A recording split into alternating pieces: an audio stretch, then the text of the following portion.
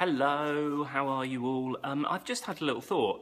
I get an awful lot of emails of people asking me various advice about their art, um, sometimes art career, sometimes um, about their studies and what they're doing with their own art and stuff. And I thought what we could do is I could come on here every now and then and answer um, any questions that you've got and then we could share that with everybody and it might actually be useful. So rather than just writing back to one person, I thought if we shared it on here, then everyone could kind of benefit. So um, I thought I'd come on here maybe once a week or so, and we could kind of call this art school, and you can ask me whatever you want. So it might be what's so good about Picasso. It might be I'm doing a self-portraiture project at school. Um, have you got any ideas?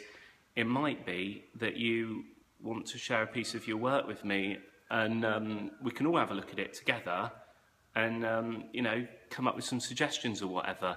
You might want to ask me how do I draw an eye or how do I use fixative or what's three point perspective? I mean I don't know what you're going to ask but um, ask whatever you want and uh, we'll make some art school programs here on YouTube. It'll be really really good.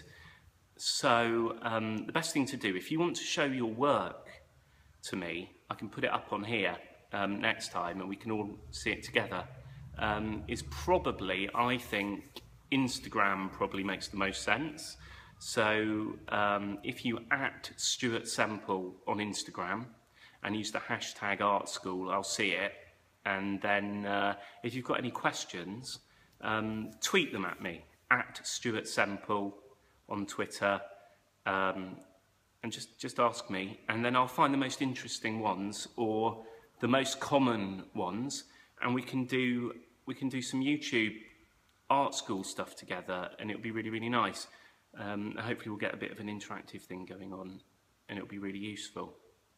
All right, um, I'll see you all later. Uh, I'm off to the gym. Bye.